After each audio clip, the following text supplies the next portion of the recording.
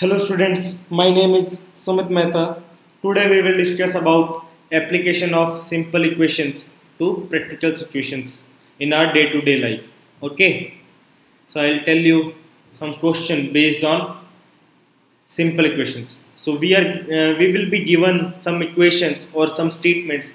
So first we have to make equations from statements, then we will solve these equations to get our answer. Okay, let me write some question first. The first question is the sum of 3 times a number is and 11 is 32 find the number okay so this is the question which asked us the sum of 3 times a number. So I will write let us take the number. You have to do step by step as I am doing in the exam okay? So let us take the number as h okay? So according to statement 3 times a number. So means 3 times a number. I have written here.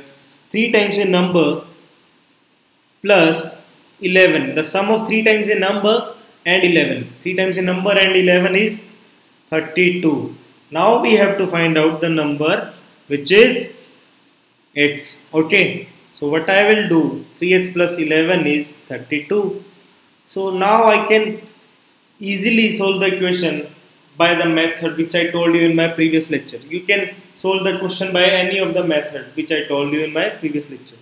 Okay, so what I will do is I will take the 11 on right hand side. So the sign will change. Okay, so the 3x will becomes 32 minus 11 will be 21. Okay, so 3 is multiplying here. So on the right hand side it will be on division side. So it will be 7 so the number is you have to write in answer the number is 7 so this is our answer students. These are some of the typical questions which might come into exam. And you have to make the statement. You have to read the statement very carefully. Then make the equation from this statement. Then you have to solve step by step and after getting your answer you should write the answer as the number which you are getting. Okay? Let me give you some more example on this. So student here is the question which is very very important from exam point of view students. So please keep that in mind and be attentive here while solving this question. Okay? So the question given is Raju's father's age is 5 years more than 3 times Raju's age I don't know about Raju's age. So let me assume. Let Raju's age is X years. So you have to write step by step. Okay.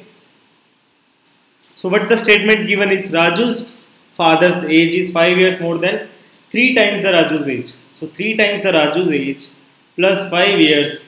This is the Raju's father age. So let me write the Raju's and find Raju's age if her his father age is 44 years. So I know the value of Raju's father age.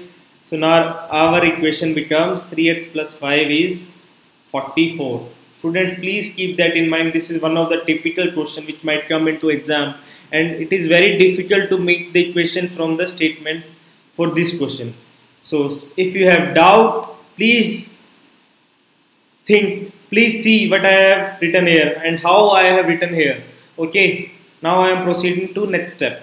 So our next step would be 44 minus 5 so 3x will be 39 so x will comes out to be 13 39 by 3 is 13 so the Raju's age is 13 years. You can also cross verify your answer by checking the statement if I multiply 3 into 13 which is 39 plus 5 will be 44 so our answer is right. So student if you face any question in which you are facing problem with making the equation so please do comment the question in the comment box. I will meet the question there. And if you have still any doubt with the lecture please ask us in the comment section students hope you will learn it learn the chapter very easily okay and please do download the app of Scholars Learning from App Store or Play Store students. Thank you. Happy learning.